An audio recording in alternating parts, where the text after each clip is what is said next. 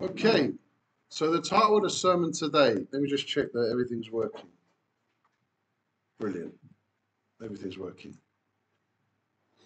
Okay, so the title of the sermon is Miracles Never Stop. Now, why did I have to do this sermon today? Well, there's a group of people we're going to talk about them, and they're Christians, but they've got a very twisted message. They believe that miracles stopped with the apostles. And is a very, very weird thing that kills people's faith. Okay, so we're going to do an example here. Okay, and the word of God increased, and the number of the disciples multiplied in Jerusalem. Okay, so the number of the disciples multiplied. Is that saying that there were more and more and more disciples being made? What is it saying? Does it say that the disciples that were made also did miracles? Yes, because Stephen was not one of the original 12. And it's saying he could perform miracles. Stephen, full of faith and power, did great wonders and miracles among the people. So miracles never stopped. So if somebody says to you, you know, you can't perform a miracle, there's no point in praying, there's no point in. But these people don't understand the Bible and they're saying that God's power is limited somehow. It's a weird, twisted message that's going out, but we're going to quash that today. So, the Bible says, Behold, let's go to the next one. I have to turn it on from here, right? Okay. Brilliant.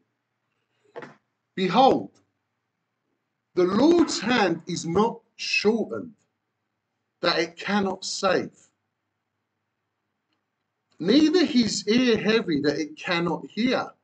But your iniquities have separated between you and your God, and your sins have hid his face from you, that he will not hear. So, what has happened? It's said that God hasn't changed. God can still hear your prayers. His power hasn't gone. A lot of people will wonder, well, why isn't God helping me? It's a, it's, a, it's a fair, reasonable question. I'm in a situation. Why isn't God helping me? Is it because I've sinned? Is it because this bad thing that's happening to me will serve the kingdom of God somehow? Will it help Christianity? If so, let the suffering happen. We're not cowards as Christians. We don't, we're not scared of things that happen to us. Scared is, is the other side. Okay? So, who are these people? They're called cessationists. Okay, and what does it mean? It means that spiritual gifts, such as speaking in tongues, prophecy, healing, ceased with the apostolic age. The doctrine was developed in the Reformation and is particularly associated, with the Calvinists, the people that believe in predestination. You know, the people that are going to heaven are already going, and the people that are going to hell are already going. So, you know, there's no point anyone repenting or anything. It's a, a dumb doctrine that it's taken very um, it's absorbed a lot of the Christian teaching and perverted it. Now, the Bible does not say this. Now, we're going to read some passages together. And you tell me in those passages where miracles have stopped. These are the verses they use in the Bible. So, this is the verse.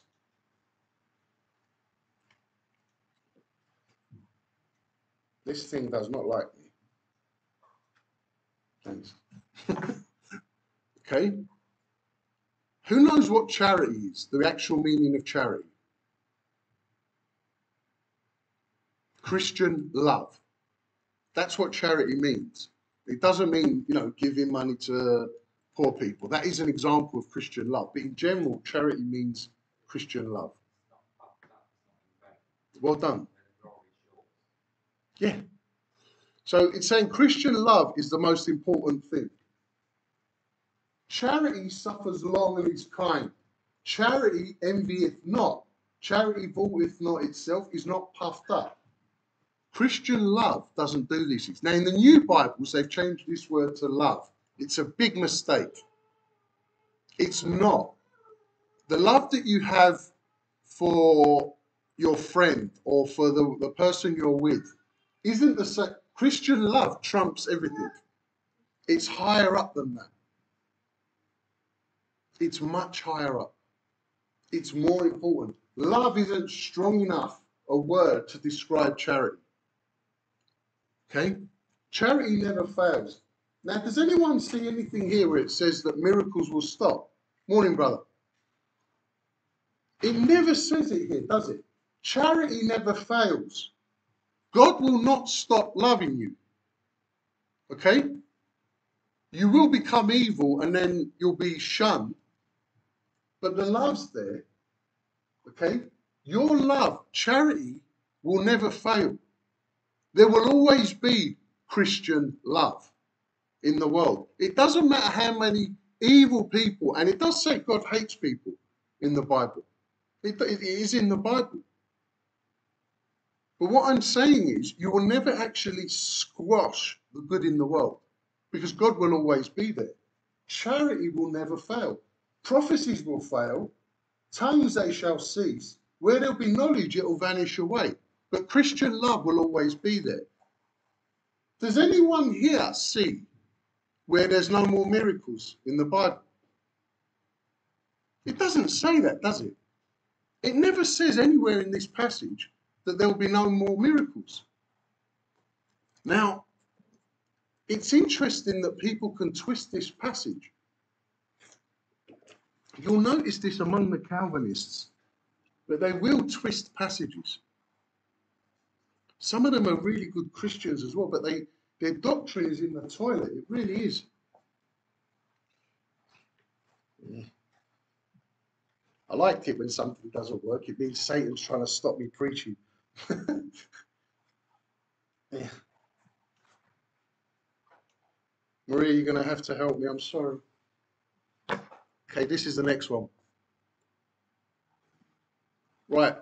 God, who at sundry times and in diverse manners in different ways spoke in time past unto the fathers by the prophets, hath in these last days spoken unto us by his Son, whom he has appointed heir of all things, by whom also he made the worlds. Does it say here anywhere that miracles have stopped? It never says it, does it? These are the passages they use to say that miracles have stopped. They stopped with the apostles, apparently, but it doesn't say that anywhere. I looked up their verses that they use, and they're not there. Let's do another one. How shall we escape if we neglect so great a salvation? It's talking about the angels. The angels suffered. The, the, bad angels that fell will burn in hell. It's saying, so if they, they're going down to hell, how shall we escape? If we neglect so great a salvation, which at the first began to be spoken by the Lord and was confirmed unto us by them that heard him. The apostles confirmed what was said in the Bible. God also bearing them witness. Because if there's a miracle, it has to come from God. God also bearing them witness, both with signs and wonders, and with diverse miracles, and gifts of the Holy Ghost according to his own will. Where does it say that miracles ever stopped?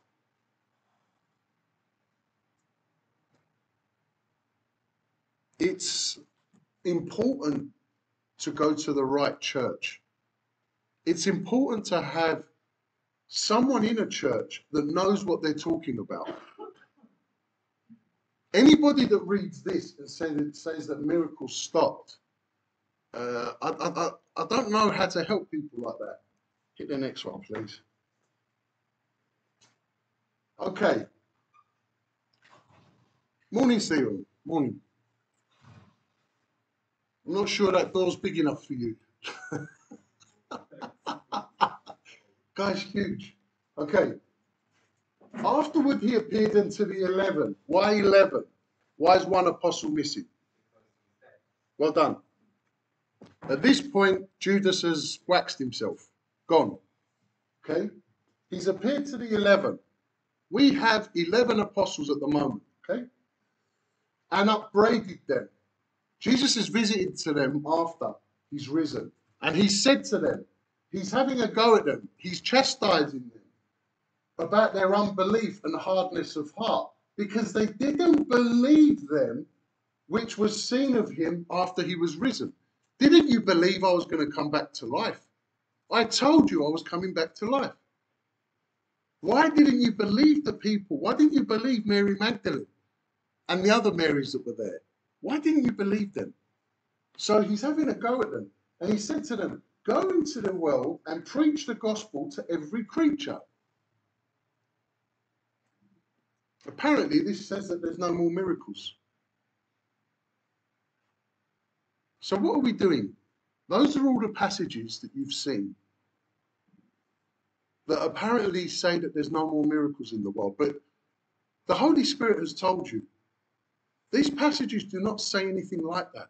Miracles have never stopped, and they never stop after the apostles.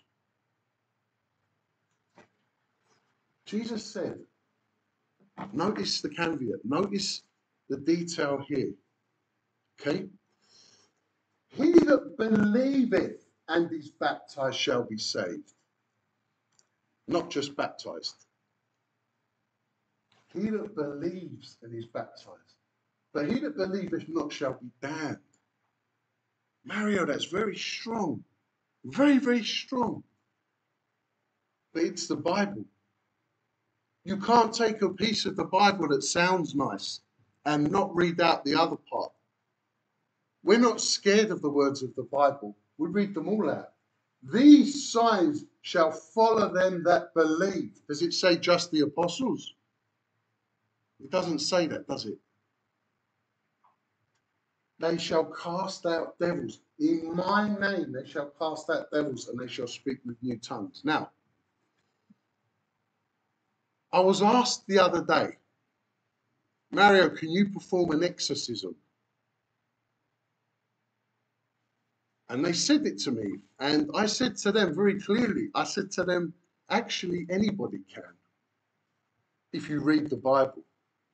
Here it says, them that believe. It doesn't say you need a special priest, right? It doesn't say that it has to be a priest. In fact, it doesn't say any of these things. In who's seen the film Exorcist? I mean, I've seen it. You know, scary horror film from the 80s. You know, had a lot of. Uh, hmm? Well, yeah, it says based on a true story type thing. Well, here's the thing. In that film, in that film, you have to make a special application to a special type of priest who's been specially trained in exorcism. Okay? And he comes with holy water. Now, holy water is actually in the Bible, believe it or not.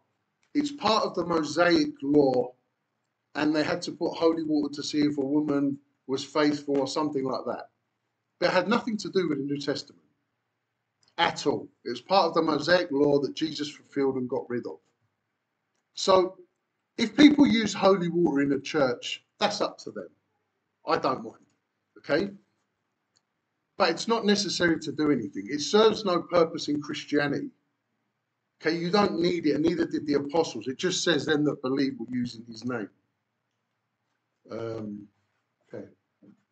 They shall take up serpents. If they drink any deadly thing, it shall not hurt them.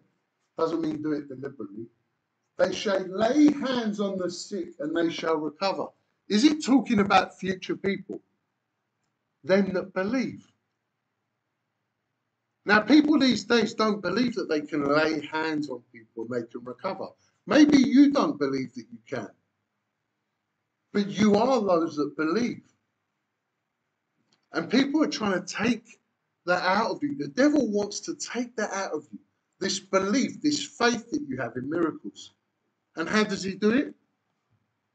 Well, what's the sneakiest way that the devil can attack you? through a church. They often infiltrate. They did this interview with this um, these Satanists, very famous Satanists, the LaVey people or something like that, Anton LaVey people and his family. What did he say he was doing? They said they've infiltrated the churches. Satanic people have put a, a, a, a Satanist as a preacher so that they can mix up the word. They can't get rid of your faith, but they can twist it and turn it. A lot of people have realized that Christians will remain Christian no matter what. They die hard, die in the wall. I am a Christian. The only way is to mess up their doctrine. And that's what they try and do. Okay, so after the Lord spoke to them, he was received up to heaven, sat on the right hand of God. Now, they went forth and preached everywhere, the Lord working with them, confirming the word with signs following. Amen. Now, what does that mean? That means that believers were performing miracles. You are believers, you can perform miracles. Okay, now,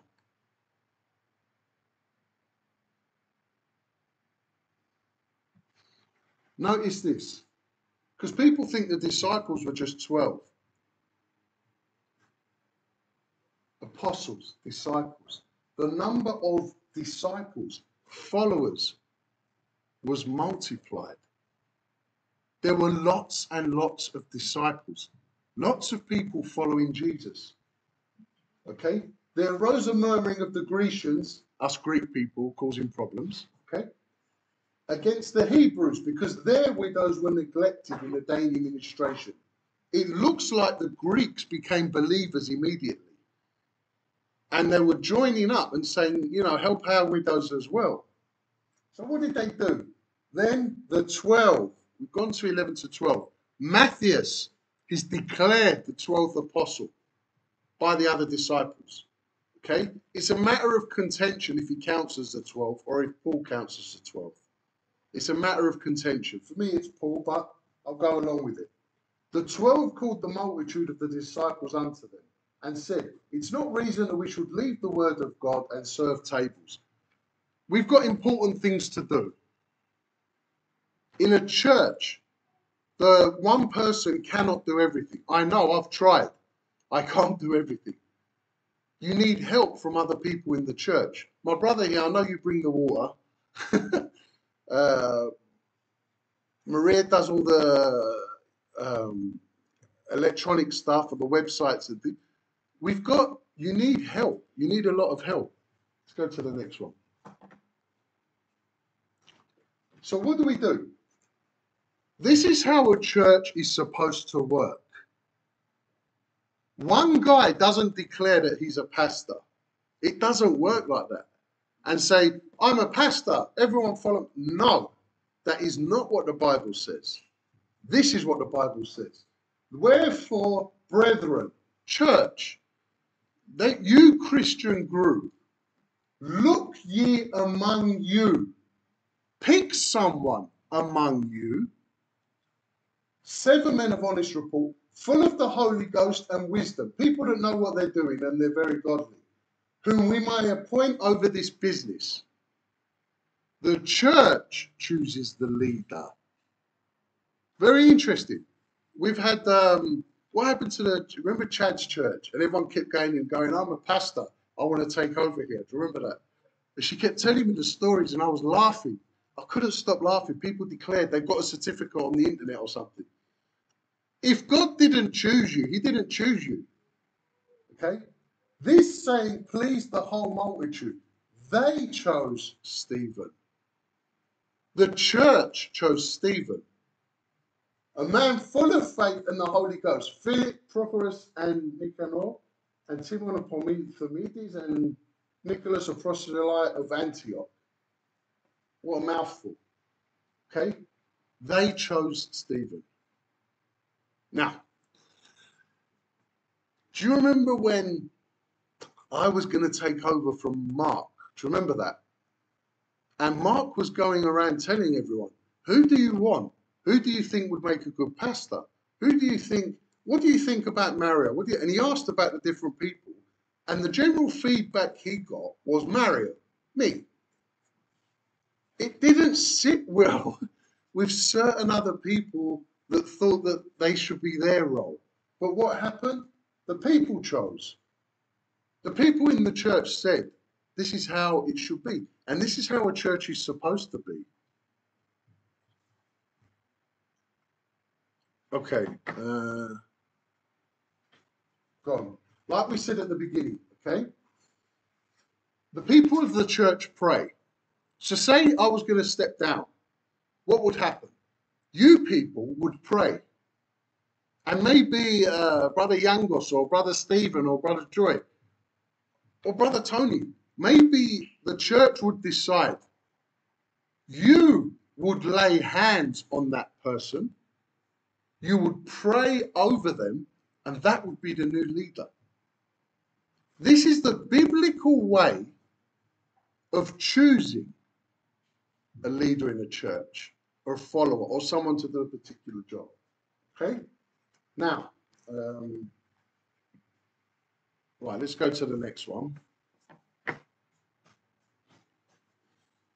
And what does Stephen do? He's not popular. He's popular because of the things he says, but he is unpopular because of the things he says. This is how it's supposed to be. You're not supposed to be, how do I put it? Wishy washy. Well done. Thank you. I appreciate that. You're not supposed to be a softy, softy, softy preacher. You're not. You're supposed to say what the Bible says. Is this going to make you popular? No. If you want to be popular, go and pretend to be what do they do? They run for mayor or something, and they're squeaky clean, perfect people, apparently. You know, I've never done anything wrong. the Bible doesn't work like that.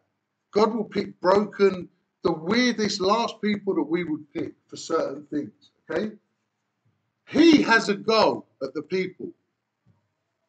Solomon built him a house. How big? The Most High dwelleth not in temples made with hands. People don't want to hear this. You see, we've made this place a house of God. Does God sleep here? No. Is God limited to this place? No. It doesn't work like that.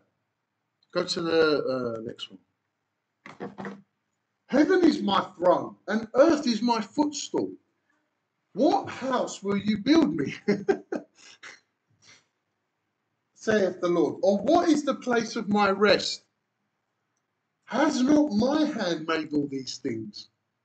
The bricks, the building, you, the things, the trees that, that you're going to use, the, the, the, everything that you're going to put, even the plants that you're going to put in the church, were made by God.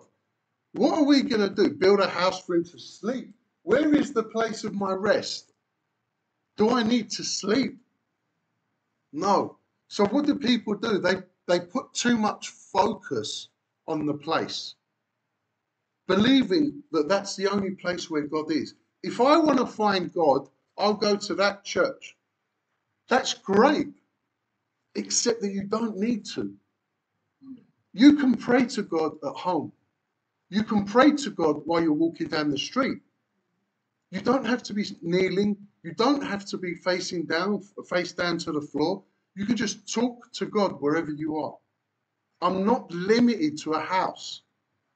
Now, I know why he had to tell them all these things. At this time, the temple wasn't destroyed in Jerusalem. So, uh, what would happen is people, you can see, have you ever seen the videos of what happens in Israel? There's a tiny bit of Solomon's wall left, like a few bricks, and there's a guy praying to the, to, it was temple worship. You're not worshipping God, you're worshipping the temple. It doesn't work like that. worshipping the bricks isn't going to bring you closer to God. Okay, I, I understand where the guy is coming from. I don't, I'm not against people that try to, because a lot of people think I bash other churches. Okay, I'm trying to not destroy them, I'm trying to bring them back in line and undo the damage that's been done. The guy who's praying to that wailing wall, or whatever it is, in, in Jerusalem, he's praying to it because he feels godly and he's showing his love for God by doing that. When you see uh, Orthodox or or Catholics and they're doing a special pilgrimage for their faith, okay, they're doing it because they love God and they want to show their love for Him. I'm trying to say to them, you don't have to do it that way. I'm not bashing them because a lot of them are strong, strong believers. I bash things like uh, Mary worship and saint worship. But from the other side, I can see what the people are doing. They're devoted to God and they think that if they pray to these saints, they'll be closer to God. It doesn't work like that. And I wish, I want, because these people are great godly, they're halfway there. But somewhere along the line, their, their doctrine's skewed and flawed. A lot of these Calvinists are, lovely people and, and devout Christians, but their theology sucks. I wish there was another way to say it. It is diverted and twisted and wrong. And you're killing the faith of real Christians who actually believe, who need to believe in miracles. Let's go to the next one. So, what happens when Stephen tells the truth? And he said, Behold, I see the heavens open, and the Son of Man standing on the right hand of God. So he's rebuked them, and it's a long rebuke. I haven't put it all in the sermon. But at the end of the rebuke, he says, Behold, I see the heavens open. He's not lying. And what have they done? They cried out with a loud voice and stopped their ears. How many people have done that? I mean, I'm guilty of doing it. Okay? They don't want to hear the truth about their religion. They don't want to hear the truth about maybe Islam, maybe uh, the JWs, maybe Mormons. They want to close their ears. I've had, I've spoken to, to Muslims and seen them come out of, of Islam to come to Christianity. I've spoken to JWs who've come out of it and come to Christianity. We've seen many things like that. Okay? But be careful because these people are there. They don't want to hear you. And cast them out of the city and stoned him. And the witness laid down their clothes at a young man's feet whose name was Saul. Saul's not a believer yet. He's not an apostle yet. You understood why I put it there. Well done. All that to say this. Yes, he wasn't named among them. So, if miracles stopped with the apostles, and Saul's not an apostle yet, surely Saul wouldn't be able to perform miracles, right? These verses that I'm giving you show you that you can perform miracles by believing. Now I'm going to I, I can show you miracles that have happened in my life, things I've seen, but I've said them in other, in other sermons. I know that miracles happen when you pray. It's happened so many times. I'm not worried about babies crying because they're in the service. Don't worry. Don't worry. Okay, so let's go to this uh, exorcist type situation. Okay, so it came to pass as we went to pray, a certain damsel possessed with the spirit of divination. She's possessed. She's got a demon that's telling her things. Okay, and the person that owns her, because she was owned at the time, is making lots of money. You know, she's giving readings. She's doing. Uh, she's telling the future for people using uh, demons. Now, what happens? And this she did for many days. But Paul, being grieved, turned and said to the Spirit, So if somebody asks me, What do you need to perform an exorcism? Read this verse. No holy water, no special priest, no cross needed. Okay? No big ritual, you know, where you see the Exorcist film would have been very short if they actually followed the Bible. You read out one sentence and it's all over. Okay? But to cast out demons and stuff is simply this I command thee in the name of Jesus Christ to come out of her. And it came out the same hour. I remember the first time I faced all this supernatural stuff. I was uh, I wasn't a preacher at the time, but I was hanging out with these Samaritans. Um, you know the people that put the Bibles, Gideons. Sorry, I was hanging out with these Gideons, and I got a phone call while I was with these Gideons. We were sitting down praying because I was going to join them. Okay, and uh, before I found out that they started giving out NIVs instead of KJVs. Okay,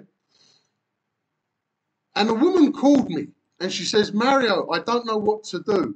I'm being possessed. I'm seeing things and stuff like that. And I'm sitting there thinking, right, I haven't faced this before, but sooner or later I have to face this supernatural stuff. I'm a Christian. And I'm with these Gideons. And I said to the Gideons, what's going on? I said, guys, this is the situation. This woman's called me now. She's talking about demonic possession and things like that.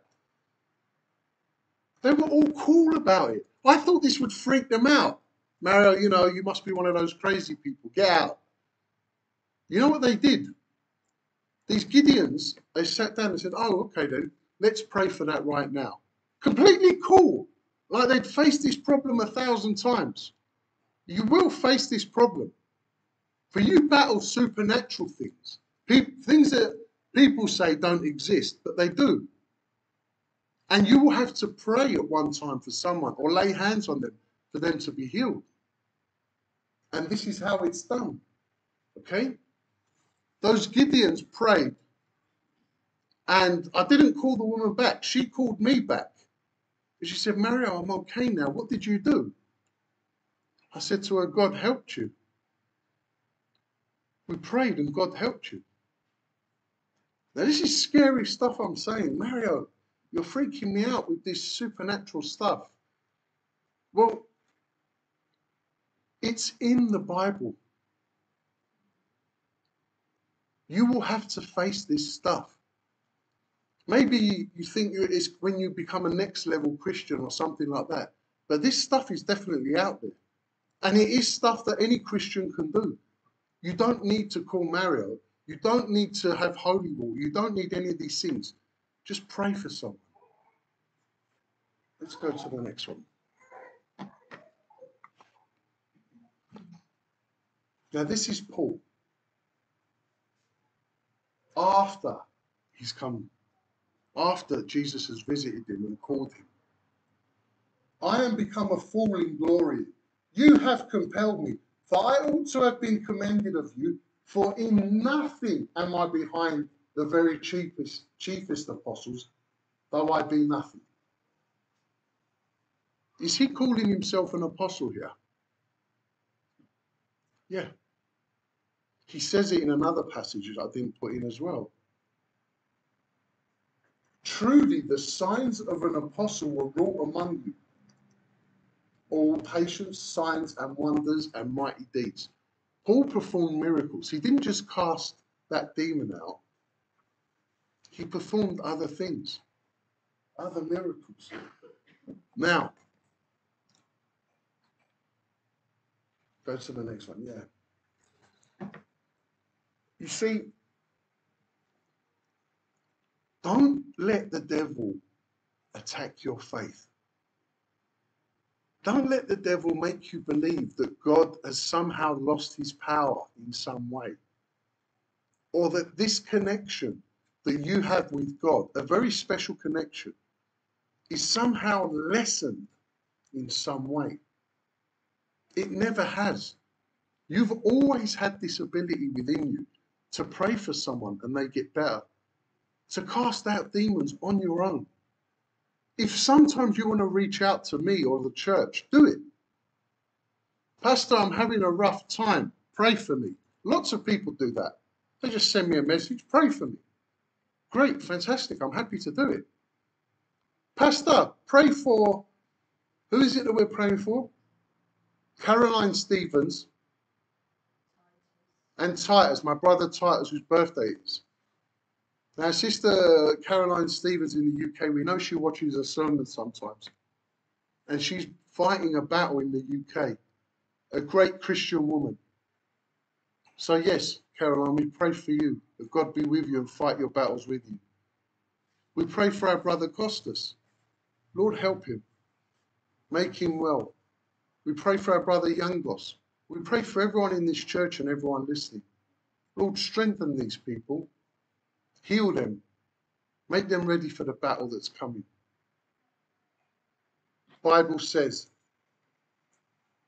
Therefore I say unto you, what things soever you desire, when you pray, believe that you'll receive them, and you shall have them. Was Jesus lying? Do we half believe the Bible? When we pray, the next time we pray, add the special ingredient belief. Believe that you receive. It's a very tough path for Christians to go for. They'll believe the whole Bible, a Christian. A Christian will believe everything from Genesis to the virgin birth. They'll believe everything. But they will never believe, no, not never. Some of them don't believe that God will help them. That's a big mistake. You call God a liar, you call Jesus a liar. This is Jesus' words. And we believe them. So, what's the special ingredient missing from when people pray? Belief. I believe that God will help me in this situation. I believe it. Now I have power inside me. And the power inside you, it makes a huge difference. It's something that will change your entire life and the entire way you look at things. It will fire you up. It will steel you for the things that are happening. What do we do now? When we leave this church today, we're going to look at things differently. We're going to walk down the street believing that God will answer our prayers. He never said he wouldn't. It's men that told you he wouldn't. It's us. It's people that told you that God wouldn't help you. The cessationists who believe that miracles have ceased. I would always ask these people, why do you pray then? If you believe that miracles have ceased.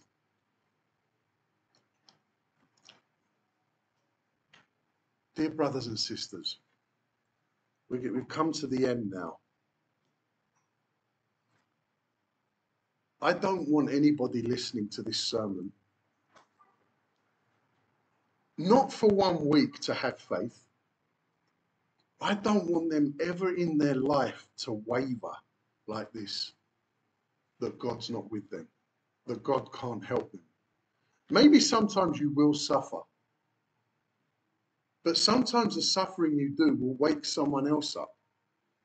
With Stephen, they took their garments off while they were beating him and stoning him. And Saul was looking after their clothes while he was doing it. But here's the thing Saul saw what happened to Stephen.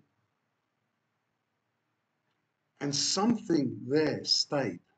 Something there was, wait a minute. He was consenting he was agreeing, stone him, stone him. He says it in a later passage. But he never picked up the stone himself. Why? He was capturing Christians and handing them in, Saul Paul. He was doing that. But something wasn't right. And God saw something in him that he didn't see in himself, just like it can happen to you.